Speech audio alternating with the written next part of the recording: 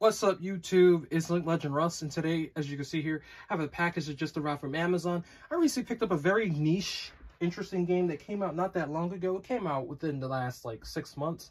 I believe it's called Lemon Cake, and it's something I picked up from my sister. She said I can go ahead and unbox this for my video, so let's go ahead and get into this. So, as you can see here, you know, you get these Amazon envelopes, and you go ahead and open it up, and here it is. It's called lemon cake. On the back, you got bake your way through lemon cake. Then it says cuisine. Oh, never mind. It's it's in French, I believe, or Spanish, excuse me.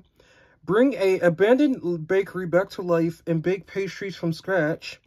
Grow fresh ingredients in your greenhouse.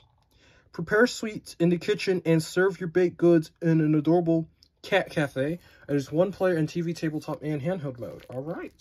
I'm going to go ahead and move this out the way. Go ahead open this up. Just a little short unboxing. Nothing special. Nothing, you know, I don't know nothing about these type of little games. You know, it's a niche game. It might have been something maybe shown in the indie world. In fact, at the time of this video, Indie World would had already happened. So, I must say, you know, they showed a lot on there. Nothing too interesting for myself. But um, we'll go ahead and um, get this shown off right here. Toss my bayonet Bayonetta cartridge there. Kind of disrespectful. But um, oh, let me put the game cartridge in right. I don't know why I didn't do it right, but let me see. It's kind of hard to do with gloves sometimes, but you know, you always get people asking, why you do your unboxing with gloves? Because I want to. And gold coins. Let's see. It's probably like not too much. You get like 30 gold coins. Yeah, okay.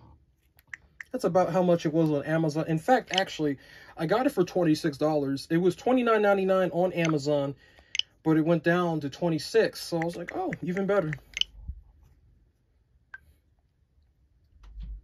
Okay, so uh, Japan, it just says you cannot collect gold coins yet. Interesting. So it is not all on the cartridge. There is some sort of download. But with that, I'm going to go ahead and end the video out. So if you're interested in these little niche kind of games, you know, something that's similar to like Starfield, uh, Stardew Valley, or Animal Crossing, or Story of Seasons, which I have not picked up yet, but I will one day buy those games and unbox. You can check these videos out, so like and subscribe, and as always say, have a nice goddamn day, goodbye, and have a good one.